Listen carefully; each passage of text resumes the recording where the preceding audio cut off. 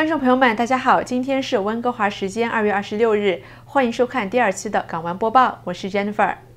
北京时间二月二十六日上午十一点，加拿大国民咖啡 Tim Hortons 终于登陆魔都上海，中国小伙伴们总算等来了这个小红杯。这是 Tim Hortons 在中国的第一家店，是该品牌全球第四千八百五十家店，据说在中国的目标是开一千五百家店哦。在中国，Tim Hortons 的名字改为了 Tim's Coffee House。为了方便中国的顾客了解这个加拿大国民咖啡品牌，店家还特别做了一篇长微博来介绍相关内容。中国新店地点锁定到黄浦区黄埔北路两百二十七号中区广场一层，妥妥的魔都核心区文青小资聚集地。开业典礼也是非常隆重，有消息说加拿大驻华领事都亲临现场致辞祝贺。至于 Tim Hortons 为何选择此时来到中国？说法主要分为两个方面，一是目前该品牌目前在加拿大正面临着发展瓶颈。据《好奇心日报》报道，Tim Hortons 的特许经销商员工以及母公司 Restaurant Brands 之间存在对立问题。去年五月，Tim Hortons 在一份调查加拿大最有名望企业的报告中，从十三名掉到六十七名。而就在几周前，调研公司 Lager 也做了相同调查，Tim Hortons 从第四名降到第五十名。而另一方面，伴随着中国消费者习惯的改变，咖啡市场在中国将持续增长。这意味着来到中国发展，品牌将迎来更多的机会与空间。据第一财经商业数据中心发布的《二零一八中国咖啡行业洞察报告》显示，二零一七年咖啡消费市场规模在七百亿元左右，年增长率约百分之十五。预计二零二零年中国咖啡消费市场销量规模将达三千亿元。那么，远涉重洋的 Tim Hortons 将以何种面貌打？打开中国市场呢？那场面叫做人山人海，还没开门排队的已经是神龙见首不见尾。网上有周游列国的小伙伴说，这场面似曾相识。当年 Tim Hortons 在西班牙开店时，大家为了他排过十七个小时的长队，而如今这个神一样的记录已经被打破。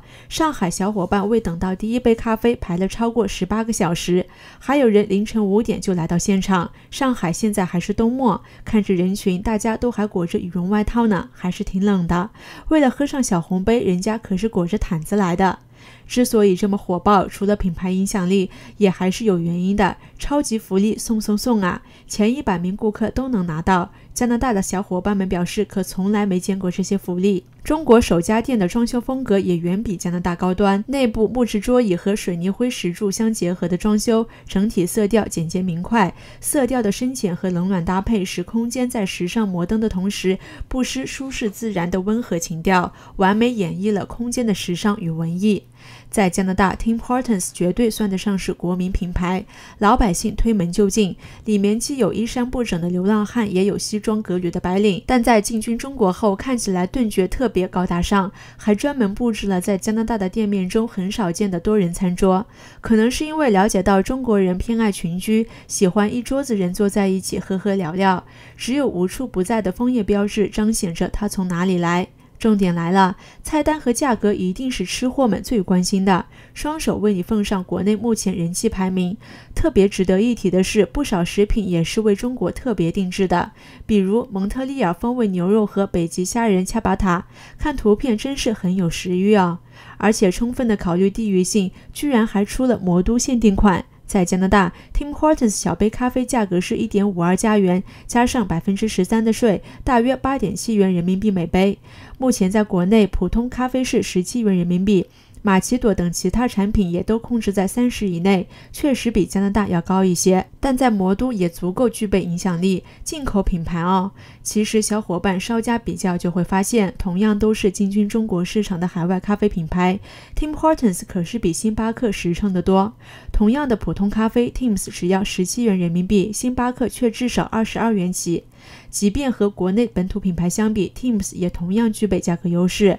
现在国内随随便便的一个奶茶都要二十左右了，更何况 Tim's 是进口品牌呢？最主要的是，还有不少价格更加实惠的套餐可以选择，对上班族肯定很有诱惑力。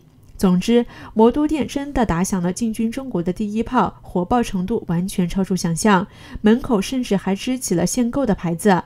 当然，第一天的顾客里有很多的是留学党、海归党，他们除了想念这个味道外，更多的是思念当年的情怀。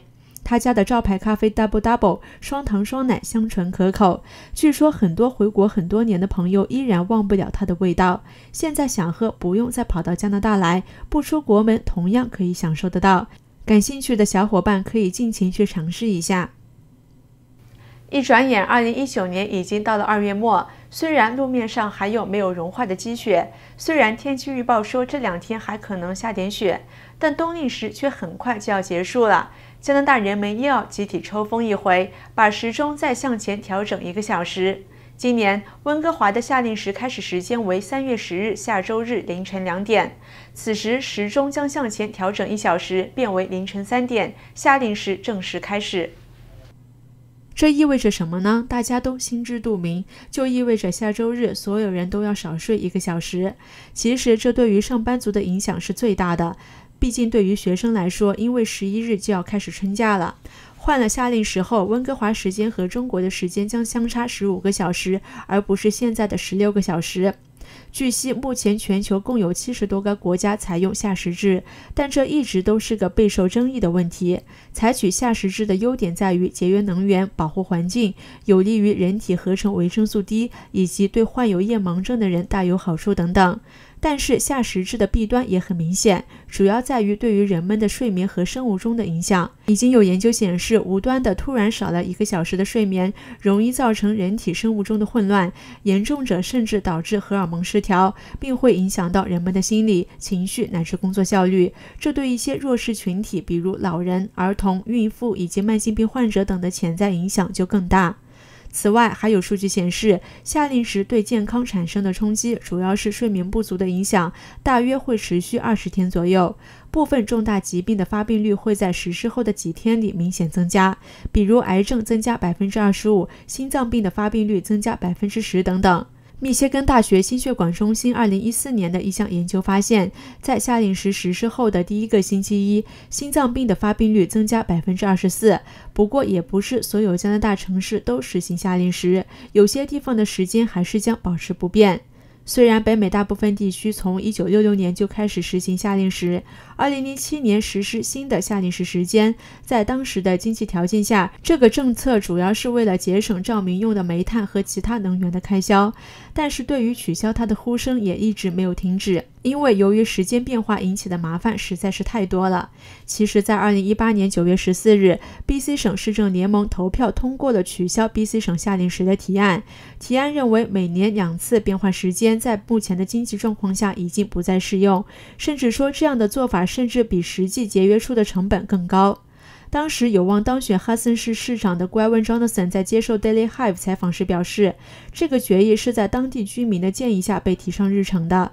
因为 B.C 省的东北部不实施夏令时政策，这里的居民半年与阿尔伯塔省相同，另外半年则与 B.C 省相同，这就导致了很多跨省企业在工作上出现很多不同步的问题，也被指责效率低下和混乱。但 Jonathan 也说到，这次的决议并没有提到取消夏令时后具体采用什么时区，可能还要在后续的会议中才能推出更加具体的方案，所以直到目前也依旧保持执行着冬令时和夏令时。那么，如何愉快地过渡到夏令时呢？一、尽量减少咖啡因和酒精的摄入；二、白天小睡十五到二十分钟，但不宜睡得过久；三、把晚饭时间提前，让食物能早点消化；四、提前十五到三十分钟上床休息，睡前少玩手机；五、早起拉开窗帘，让阳光帮你调节生物钟。最后再强调一下，温哥华在当地时间二零一九年三月十日凌晨两点时钟向前调整一小时，变为二零一九年三月十日三点开始夏令时。以上就是今天港湾播报的所有内容，感谢您的收看。如果您喜欢我们的节目，请点击屏幕右下方订阅我们的频道。我是 Jennifer，我们下期再见。